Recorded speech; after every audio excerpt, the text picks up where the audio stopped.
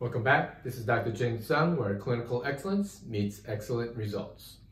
Today we're going to go to part two of gastrointestinal disorders. In the board behind me, we're going to explain some of the clinical signs and symptoms of GI issues. Last week we talked about all these different mechanisms that might cause uh, or uh, what appears to cause symptoms outside of the GI tract. So if we have some pro problems, let's say of eczema, right, which is a skin issue, it may actually be related to GI issues or food sensitivities. So in the clinical practice, when a patient comes in, we have to ask certain questions. What is going on with this patient? Is it a true GI symptom or is it other factors that create problems for this patient? So when we look at it in terms of clinical signs and symptoms, it's not just about stomach pain when we talk about gastrointestinal disorders. When we look at it, we have to do one, does the patient have a healthy diet and lifestyle?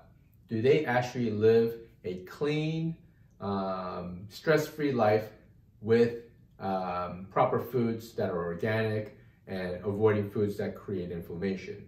Foods like gluten and dairy are big factors in GI issues. So when we look at a patient, one of the first things we like to do, which is our foundational piece, is to say, do they have a healthy diet and lifestyle? If not, we have to go ahead and modify those, right? Uh, refined sugars, gluten and dairy, sometimes soy can be problems. Um, and some patients, it can be lectins, like nuts and seeds can be problems for those patients. So alcohol use can also um, create um, a breakdown of the gut barrier and creates uh, depletion of B vitamins. So you have to look at lifestyle factors, right? So it's very important to look at that as a foundational piece. So when someone comes in, they are eating a lot of sugar and their stress is out of control, they're drinking alcohol, and their food is basically pizza, burgers, and whatever else they can grab uh, on the go. Then those are easily modifiable if the patient is willing to change, right? The when, when it becomes more complicated is when we go a little bit deeper into what's going on with the patient. So, does a patient have autoimmunity? Do they have immune response to their own self tissue? Right. Some patients have hypothyroid, or uh, the number one cause for hypothyroid might be Hashimoto's thyroiditis. So if you have inflammatory processes where your body is creating uh, an immune response to its own tissue. Uh, in cases of um, GI issues, it can be Crohn's disease, uh, it can be celiac disease, but there are other autoimmune diseases that can be affected, like rheumatoid arthritis, where it affects the joints, or psoriasis or skin, right? So we have to ask those questions. Is it affecting our intestinal barriers?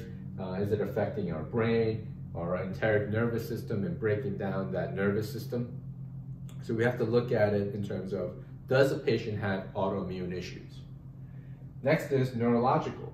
Do we have decreased output of the nervous system, right? Um, more commonly what we call the vagus nervous system, cranial nerve 10. When we look at this, cranial nerve 10 goes down into the GI tract and innervates a lot of the organs right? And your large intestine, small intestine, etc. So if your vagal function is not uh, at optimal, then you may develop constipation. You may develop um, slow metabolism or absorption in the GI tract. So we have to look at vagus output. And then something called dysautonomia, or sometimes POTS, uh, it can create issues with your sympathetic system, where parasympathetic and, and uh, sympathetic systems are unbalanced, right? Usually it's this high levels of sympathetic drive with these patients, right? If you're under a lot of stress or scared, right, uh, or in a crisis mode, you're not really thinking about eating, right? Because the digestion will not be there. So your balance of your autonomic system is very important. Also neurodegeneration, just people who have maybe Parkinson's early on or Alzheimer's early on. Uh, this is neurodegenerative and patients don't realize that the brain output is affecting GI function, okay? Next thing we ask about is uh, met, uh, metabolic conditions. Things like diabetes. Does the patient have issues with diabetes? Are there type 1, type 1.1, 1.5, or type 2 diabetic? So we looked at does diabetes drive some of these, these issues? Sometimes obesity will drive that because um, the uh, adipose tissue will create different hormones or imbalance of hormones. Hypothyroid, okay? If, you, if you don't have enough level, uh, proper levels of thyroid hormone, then everything can slow down. Uh, GI function, gallbladder function, all these things can be uh, affected. Another one is pathogens. Pathogens or infections of the GI tract. One of the most common infections uh, in the world or in the United States for GI is H. pylori or Helicobacter uh, pylori. This is a very common infection which decreases stomach acid, which can create malabsorption in, in the stomach or breaking down of the proper foods, right? If you can't break down your proteins and your fats and your carbohydrates, then it will not be absorbed properly. So we're looking at um, uh, pathogens like H. pylori, there are other pathogens like worms and uh, overgrowth of yeast and fungus and so forth. So pathogenic uh, tests would be important. So when we look at it, we have to ask the clinical questions.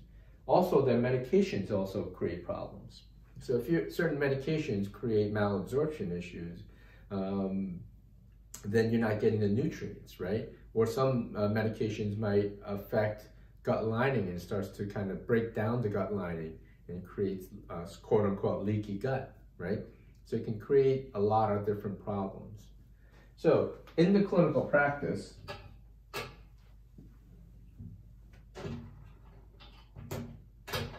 so when a patient comes in, right, um, I think a lot of practitioners miss this component is that when a person comes in, they go, oh, I have stomach pain or I have eczema, right? They don't do the necessary workup. They don't look at the patient as a whole individual. So first we've got to look at chief complaint, right? We take our time looking at what is the history? What led this person to come into our office? What is the long history of things? Was there a lot of antibiotic use that uh, decimated the gut lining? Are they on antacids for years and years and years? Are they drinking a lot of alcohol, right? Was there trauma, like a head trauma or concussion, right? These are all important factors in terms of understanding why a patient might have GI issues. So the chief complaint is very important. Obviously, dietary history. What is their diet like, right? Do they eat at appropriate times? Do they eat the right types of foods? Are they just eating a lot of sugar or um, maybe just eating a lot of gluten and they might uh, not realize they have gluten sensitivity, or they might even have celiac disease, right? And then we also use clinical forms, right? Rather than spend, you know, two hours asking these questions, we have extensive forms in our office where we ask the patient to fill those out at home. And it'll take maybe 30 to 45 minutes to an hour for some patients to fill those forms out because we have to ask all the necessary questions. And uh, leave no stone unturned, right? So we have to kind of figure out what is going on with this patient. And then we, we get the clinical history, when we get the medical history, right? Then we start to look at what is going on. We look at the patient. Is their skin uh, color okay? Is it pallor, right? Is it um, uh, full of rashes? Do they have rosacea? Do they have eczema, right? Do they look malnourished? Right? Um, they're eating, but they're they look very malnourished. They look like they haven't eaten in a long, in a long time. It creates problems. Those are signs of malabsorption. Does the patient have neurodegeneration? Are they very forgetful? Did they lose their sense of smell or taste? Right? Is their balance off? We look at all these neurodegenerative signs. And then do they have history of autoimmunity? Do they have rheumatoid arthritis or hypothyroid? These are all things you have to look at in a patient. Does their thyroid look puffy or a little bit swollen? You have to ask those questions, but you also have to clinically observe what is going on with that patient. Is the patient's handwriting very small or is it very large or is it very shaky? All those things matter in terms of looking at a patient from beginning to end. In the physical exam, right? We have to do the physical exam. Oftentimes, uh, doctors are forgetting the art of a physical exam. You know, listening to their lungs, listening to the uh, bowel sounds, right? Palpating the thyroid, doing a neurological exam. You have to be able to do that and put it all together to find a solution for those complex patients who have GI issues or GI related symptoms, which they are unaware of that is related to GI. Or sometimes it's just neurodegeneration, right? Or uh, degenerative processes that affect the enteric nervous system. So you got to look at the physical exam uh, findings. Then we like to run labs, right? I often find uh, patients come in and they they get labs from their primary, and oftentimes it's just you know, cholesterol, uh, and maybe a CBC, right? It's not comprehensive enough sometimes. So our routine blood work, uh, we like to look at a whole panel of things and look at if the patient has inflammation, do they have thyroid issues? Uh, is their homocysteine levels up, right? Do they have um, vitamin D levels that are appropriate? So when we do our routine lab work, it can help us determine what direction to go. Sometimes the routine blood work will pick up things um, that was missed on maybe smaller panels. So routine blood work is very important. When we look at GI, there's a lot of invasive testing uh, involved also, right? Endoscopy, colonoscopy, biopsies. You can do all these types of um, invasive tests to figure out what's going on. And you need that sometimes to rule out pathology. Do we have a a physical issue, right? Um, the other uh, form of testing that we use is uh, what we call functional medicine specialty labs.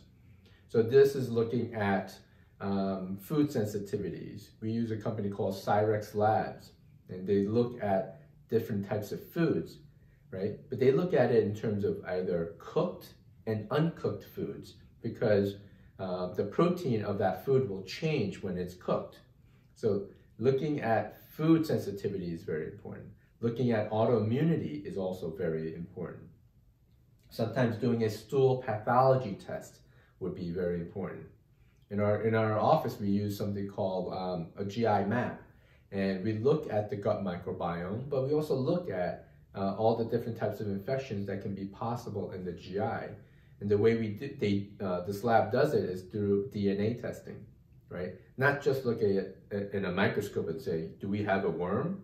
Uh, they look at DNA fragments and looking at DNA material of bad bacteria or um, pathogens, right? So it's important to do that if we have an unresolved GI issue. So oftentimes patients come in and they've done invasive testing because they've had long-standing issues um, for their GI. So they've been to doctor to doctor to doctor, they've been to gastroenterologist, and then go to a dermatologist because they have skin issues, and then they go to a neurologist because their cognitive abilities are, are, are declining. So they've been to many doctors prior to coming into our office. And our job is to kind of put all that together, add in some uh, additional testing, look at a comprehensive case review, and then determining what is the next course um, for this patient? What is the next step? And usually the foundational piece needs to be in place, which is diet, nutrition, and lifestyle, right? Foundational stuff. Then we can build on that and say, what else can we do? So in our office, we take a really comprehensive approach to GI dysfunction, right? Um, if you have any questions, list it below. And my name is Dr. Jin Sung, where clinical excellence meets excellent results and we'll see you guys next week for part three of gastrointestinal disorders. Have a great day.